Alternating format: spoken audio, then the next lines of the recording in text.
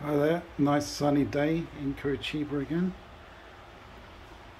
Here I've got a Marshall JCM 900 and uh, I just had this in and the customer as you might be able to see there has removed two valves so he's using it as a 50 watt rather than a 100 watt amp.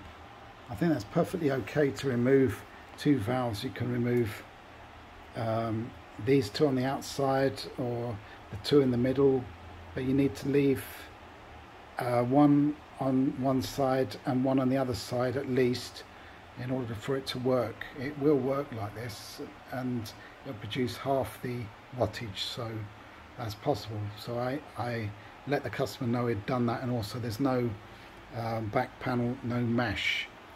Now the fault with this is there is no sound and um, I've tested it out and confirmed that, there is no sound. Um, but what I did, I, I instantly thought oh, it could be something to do with the input uh, preamp valves because that normally is the cause unless the output valves are really completely gone. Um, so normally it would be one of the input valves causing that, but I've got my lamp connected here. If I was to switch it on now, it's plugged in. Right, it's not switched on, but let's just switch this on. Right, switched it on at the back. Look, you see, it's uh, lighting up there, but and obviously the valves are lighting up as well. But if I switch the standby on at the back, watch the difference here? On, nothing.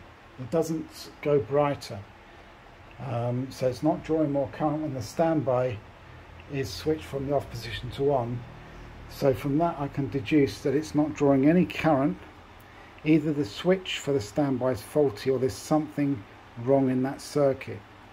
Um, so I'm going to now take it out of the carcass and open it up and, and have a look and see uh, what's wrong with this. Um, it's probably could be something to do with bias circuit not working. I've removed all these fuses, although uh, I think these are pretty much heater.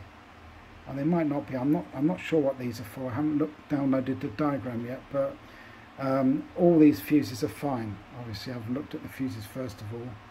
So um, yeah, this is uh, interesting. I, this is the first JCM 900 I've actually looked at. I think or I, I, very rarely look at these. It's mostly uh, JCM um, 2000s.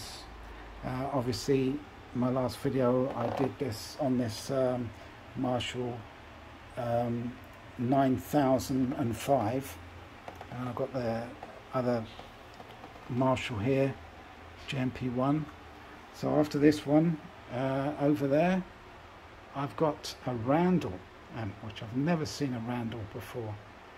So I'm, I'm going to be bringing out a video of that next. And there's a power amp a PV power amp behind that transistor. So I'll be doing that as well. So it's a Saturday morning so I'm in the workshop just um, doing a few things. But as you can see it's perfectly happy. The filament sides is fine. Uh, and obviously that's drawn out by the fact that the fuses are okay. But there's something wrong somewhere and I'll perhaps make another video to or leave um, something in the description as to what the fault was. Thanks very much for watching anyway